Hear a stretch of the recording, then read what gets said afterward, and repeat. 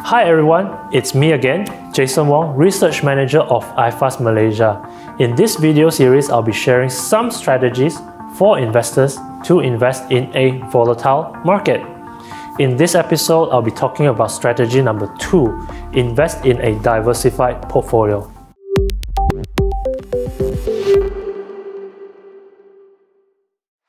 Everyone knows the saying, don't put all your eggs in one basket.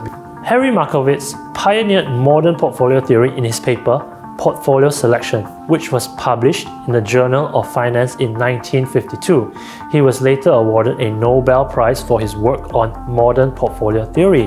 Modern portfolio theory states that when an investor diversifies across assets that are less than perfectly correlated, the portfolio risk is less than the weighted average of the risk of the individual securities in the portfolio. The risk that is eliminated by diversification is called unsystematic risk, also known as diversifiable risk. Capital market theory assumes that diversification is free and that investors will not be compensated for bearing risk that can be eliminated at no cost. In other words, investors that do not diversify is taking on unnecessary risk. Diversification is a risk management technique that mixes a wide variety of investments within a portfolio. The rationale behind this technique contends that a portfolio of different kinds of investments will on average yield higher returns and pose lower risk than any individual investment. Diversification strives to smooth out unsystematic risk events in a portfolio so that the positive performance of some investments will neutralize the negative performance of others. Therefore, the benefits of diversification will only hold if the securities in the portfolio are not perfectly correlated.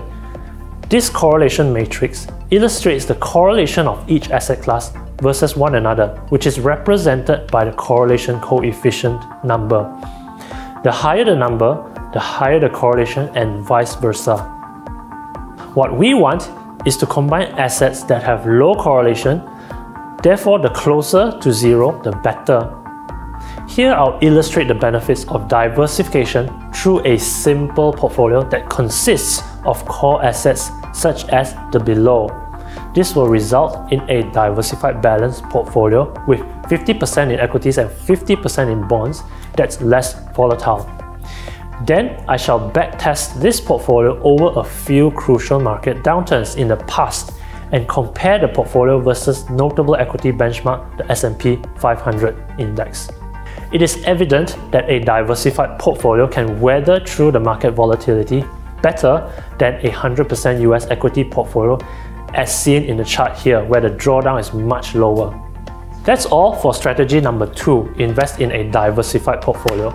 Stay tuned for the next video where I'll talk about strategy number 3, know what you own and why you own it. Thank you.